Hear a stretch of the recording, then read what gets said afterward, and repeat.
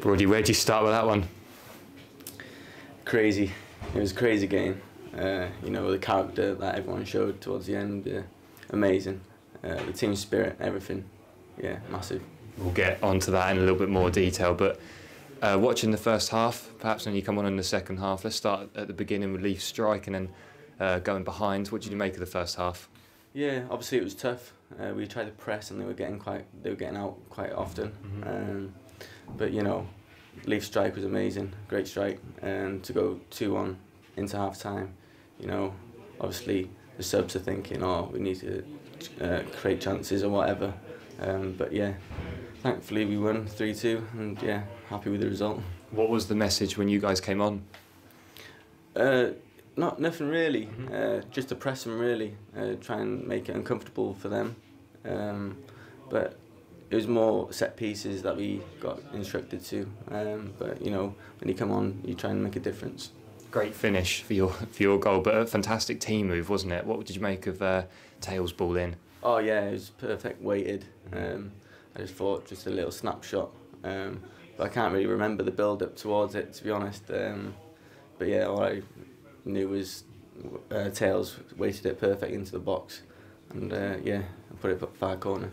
Did you feel like when you got the equaliser, you had the momentum to go on and win the game? Yeah, for sure. Um, obviously, the fans helped, mm. um, massive. So yeah, hopefully, you can do that um, a lot more times. We were just talking about the the big moments with the manager there, saying Leif's won when he when he uh, sees James Bree red carded. You know, it's a fantastic touch, isn't it? And there were big moments in the game. Yeah, massive. Yeah, um, obviously that was a great touch by Leif again. Um, but yeah, you could just tell the crowd was on our side, and uh, yeah, thankfully we got the last minute. How did you kind of feel with the last ten or fifteen minutes? What were your, what were your thoughts?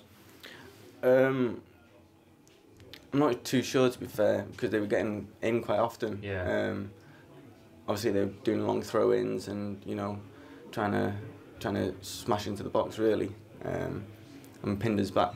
Um, but yeah, obviously we kept a clean sheet when I came on. Um, but yeah, amazing.